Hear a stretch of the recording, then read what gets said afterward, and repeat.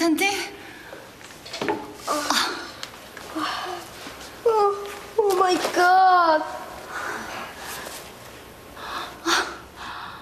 아, 아줌마 안 괜찮아 보여요.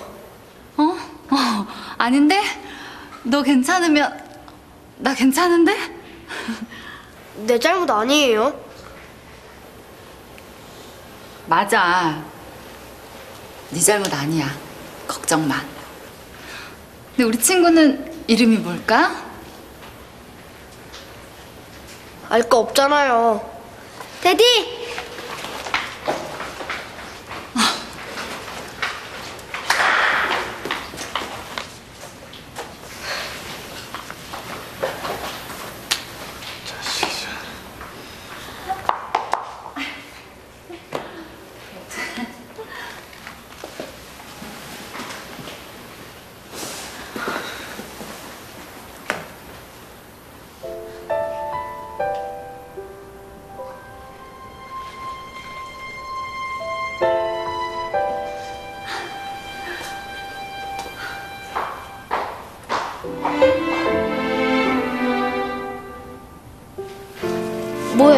집에 안 갈 거야? 영호야 잠깐만 너 거기 얌전히 있어? 데디!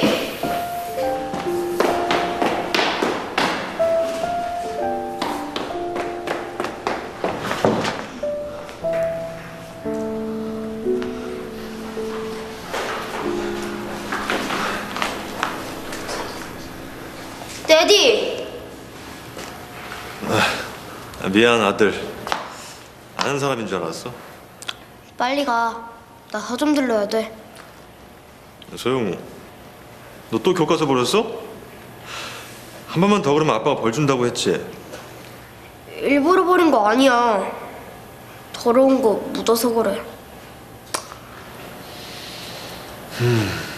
하여간 깔끔은